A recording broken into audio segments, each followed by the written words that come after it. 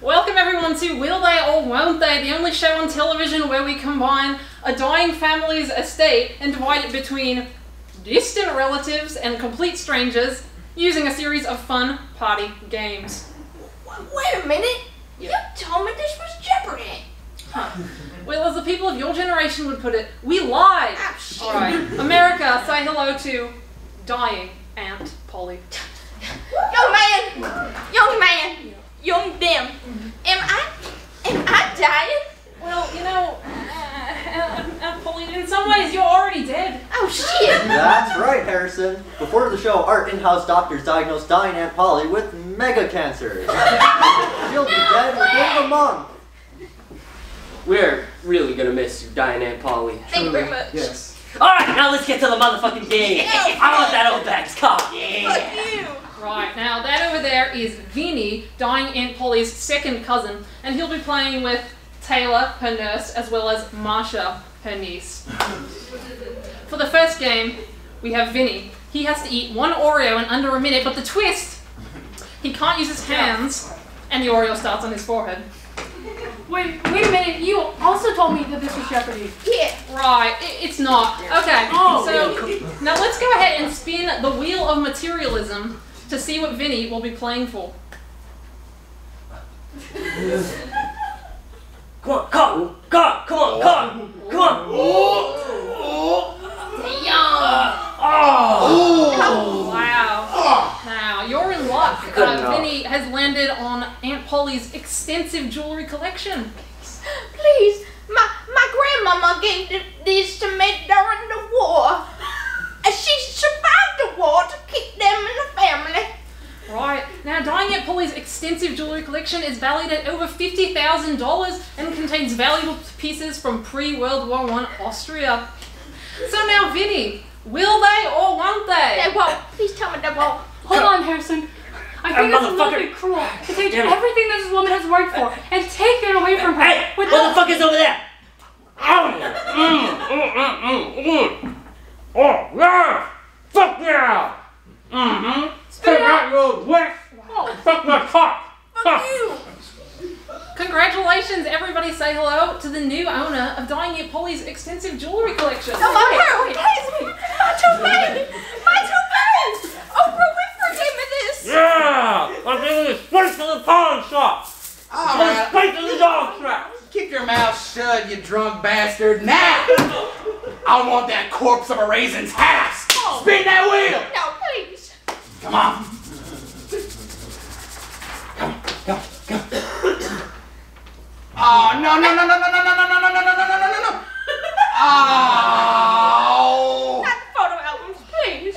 Or nor. You've landed on Dying Aunt Polly's large photo album collection documenting the life she made in 95 years of living.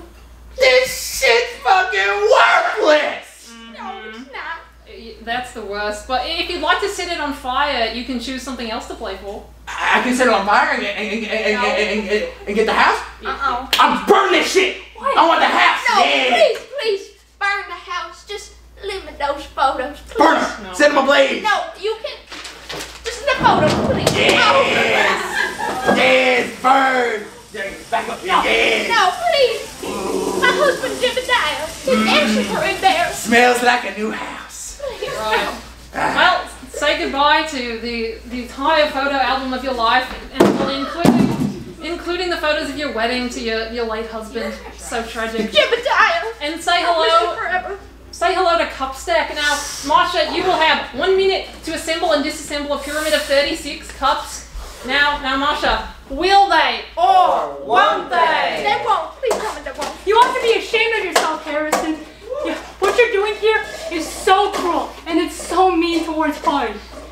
So you, Did, didn't you get the memo? um, no. Life is for the living, Taylor, and dying Aunt Polly is old, which means she doesn't matter anymore. Well, that's simply not true. I care about her. Now, Taylor, why do you think the Republicans keep cutting Medicare? It's because old people don't matter. That's why I don't vote.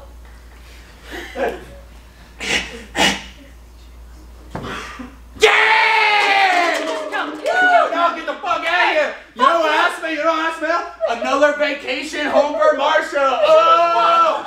You know, you know what? I can't. You know what's gonna happen? Fuck up. You know what's gonna happen to that old antique furniture? Going straight to hell. I'm burning that shit. Woo! Damn it, no. Fuck you, Take your photo album. My photo album. I'm out. Oh, man. What's true is that dying Aunt Polly will now spend her final days on this planet in the luxury of a Best Western motel, courtesy of Expedia. Thank your corporate sponsors, everyone. Not even Marriott. Alright, that's it. I've had enough of this stupid game. What you're doing here is disgusting, it's barbarian, it's evil. Now, come on, dying I mean, regular Aunt Polly. Regular. Let's go home. Are I you mean, let's go to your motel. Are you sure? Um, yes, I'm sure. She's sure. Well, it's just there's still a lot of prizes if you'd like to spin. No, there's not. I mean, well, we're leaving anyways, so what's the harm of spinning, right? So much harm.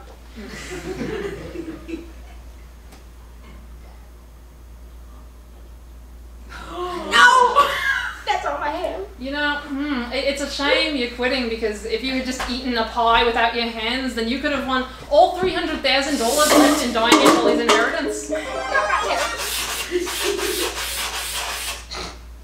One, one, five, two.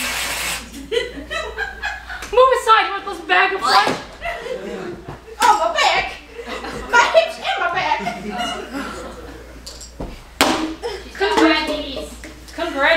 Congratulations! Fuck you! Yeah. My knees. hmm All, all the money that was meant for dying Aunt Polly's children will now go straight to you. Now, there's many more prizes left. Would you like to continue? Um, yes! This woman needs to be in the graveyard like yesterday. Why, I never. Shut the fuck up, you old bitch!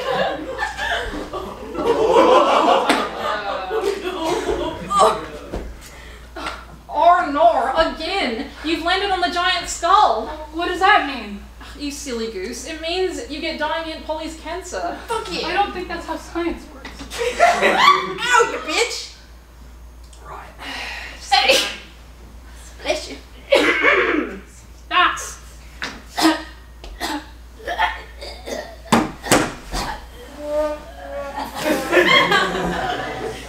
Take that, you skinny, skinny bitch. That's what you get for spending all my social security checks on your Now, not so fast, newly regular Aunt Polly. Oh. You too will be dead in three days from a freak muffin accident. Oh, oh, oh, oh, oh, what?